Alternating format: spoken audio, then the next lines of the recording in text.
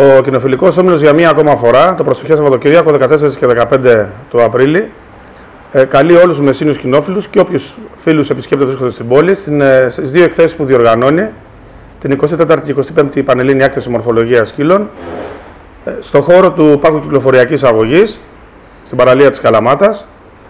Για μια ακόμα φορά έχουμε αρκετές συμμετοχές. Έχουμε περίπου 300.000 το Σάββατο και γύρω στα 250 την Κυριακή με συμμετοχές από όλη την Ελλάδα. Χαρακτηριστικές περιοχές που έχουμε πρόκειται στο μυαλό μας είναι Βόλος, Ζάκυνθος, Κρήτη, Θεσσαλονίκη. Ε, από το εξωτερικό έχουμε από τη Σερβία, από την Ιταλία και από τη Ρωσία. Οι κριτές που θα είναι μαζί μας ε, είναι από την Ιρλανδία, από την Κύπρο και φυσικά πάντοτε Έλληνες. Ε, Στόχος είναι να έρθει ο κόσμος να επισκεφτεί την, ε, την έκθεσή μας. Ε, είναι ανοιχτά από τις 9 το πρωί μέχρι κάποια στιγμή το απόγευμα γύρω στις 5-6 υπολογίζουμε. Δεν υπάρχει κάποιο αντίτιμο να έρθει ο κόσμος κοντά στο σκύλο, να γνωρίσει ε, τα καθαρόιμα σκυλιά, να κουβεντιάσει με εκτροφείς, με εκπαιδευτές, με εκθέτες, να σχηματίσει μια πιο ολοκληρωμένη άποψη, συμβάλλοντας έτσι όχι μόνο στη γνώση για το σκύλο, αλλά και στην καταπολέμηση των αδεσπότων, γιατί όταν υπάρχει συνειδητότητα στο τι θέλουμε να αποκτήσουμε και πώς θα το αποκτήσουμε, ταυτόχρονα μειώνουμε και την ασυνειδησία στο να απελευθερώνουμε ένα ζώο το οποίο δεν μας αρέσει ή θεωρούμε εμείς ότι πλέον δεν κάνει για αυτό που το, που το επιλέξαμε. Ε, είναι μια έκθεση, η λέξη αγωγικά έκθεση, είναι μια εκδήλωση η οποία γίνεται στην πόλη μας ε, περίπου 20 χρόνια τώρα, γι' αυτό λέμε και 24η-25η και σε συνδυασμό με άλλες δράσεις όπως αγώνες ή κάποια σεμινάρια που έχουν στο παρελθόν κτλ. προσπαθούμε να παγιοποιήσουμε την Καλαμάτα σαν ένα κέντρο της κοινοφιλίας στην, ε, στην Πελοπόννησο που πλέον έχει καταξιωθεί, είναι ε, και είναι ένας από τους τρεις πόλους, δηλαδή είναι Αθήνα, Θεσσαλονίκη και Καλαμάτα, σε αυτό το στο όμορφο, ας το πούμε κατά κάποιο τρόπο χόμπι, τα κέντρα της κοινοφιλίας ε, με δράσεις, εκθέσεις και άλλες εκδηλώσεις. Αν υπάρχει ενδιαφέρον να μας πείτε λίγο και για το στοιχείο της συμμετοχής, Βεβαίως. Βεβαίως. Λοιπόν, ε, υπάρχει αρκετό ενδιαφέρον. Ε, είναι αρκετοί άνθρωποι και επιχειρηματίες από την πόλη που μας στηρίξανε. Και όχι μόνο, θα υπάρχουν και κάποιες, ε, κάποια happening στην εκδήλωση, ε, αρκετά σημαντικά και όμορφα.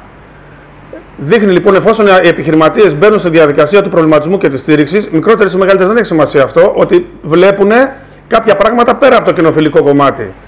Γιατί δεν σας κρύβω ότι αυτή τη στιγμή έχουμε επισκέπτες τουρίστες στην Καλαμάτα, εκθέτες που είχαν έρθει στο παρελθόν ως εκθέτες με σκυλιά, Σήμερα έρχονται ως ε, τουρίστες, ως επισκέπτες. Κριτές που έχουν έρθει στο παρελθόν να κρίνουν εδώ στην πόλη σήμερα είναι καλοί μας φίλοι και έρχονται κάθε χρόνο. Και θυμάμαι μια χαρακτηριστική περίπτωση ενός φίλου από τη Ρουμανία, μεγάλο επιχειρηματία, που αυτή τη στιγμή άνοιξε μαγαζί τελικατέσσερ στη Ρουμανία με μεσηνιακά προϊόντα, τα οποία έχουν και την επωνυμία αρχαία μεσίνη. Δεν έχει σημασία να πω το όνομα του επιχειρηματία. Και έρχεται κάθε χρόνο άνθρωπος αυτός και προμηθεύεται προϊόντα από τη Μεσσηνία ε, τοπικά και τα πάει στη, στη χώρα και τα, και τα διαθέτει. Αυτό δείχνει ένα σήμα ότι δεν είναι μόνο ο σκύλος και η κοινοφιλία, είναι και παράπλευρα κέρδη. Έτσι. Ξενοδοχεία, εστιατόρια, βενζινάδικα, όλα αυτά σε μια δύσκολη εποχή που ζούμε. Όταν παρουσιάζονται σε μια έκθεση 300 χιλιάδες μια μέρα και 250 την άλλη, σημαίνει το λιγότερο 150 με 200 άνθρωποι θα έρθουν στην πόλη για δύο μέρες και τρεις. Εκτός των επισκεπτών. Είναι οι άνθρωποι που τα συνοδεύουν. Οι συνοδοί, οι διοκτήτες, παρουσιαστές. Νομίζω ότι είναι αρκετά σημαντικό. Επειδή μιλήσατε για θέμα παιδείας και εκπαίδευσης λίγο πολύ, υπάρχει μέχρι τώρα η κατάλληλη παιδεία και εκπαίδευση όσον αφορά τους κατόχους των ε, σκυλιών. Αυτό είναι μια πολύ μεγάλη κουβέντα. Θα απαντήσω έτσι ε, με περιληπτικά ότι όχι, δεν υπάρχει. Οι περισσότεροι εντυπωσιάζονται από ένα όμορφο σκύλο ή από το σκύλο του γειτονά ή του φίλου, από ένα άγριο ή χαδιάρικο σκύλο και χωρίς να έχουν συνειδητά επιλέξει ένα σκύλο για το λόγο που τον θέλουν και τι σκύλο ταιριάζει σε αυτό που θέλουν, ε, παίρνουν ένα ζώο.